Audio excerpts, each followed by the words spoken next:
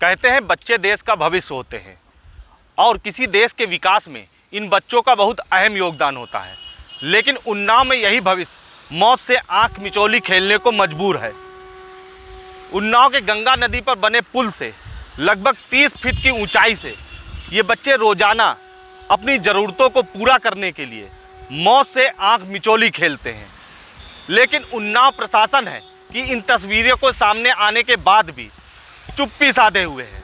अब ऐसे में सवाल ये है, क्या वाकई जिस देश में मेक इन इंडिया और अच्छे दिन की बात की जाती है, इन तस्वीरों को देखने के बाद क्या ऐसी बातें करना बेमानी नहीं होगा। उन्नाव से वीरेंद्र यादव ईटीवी भारत।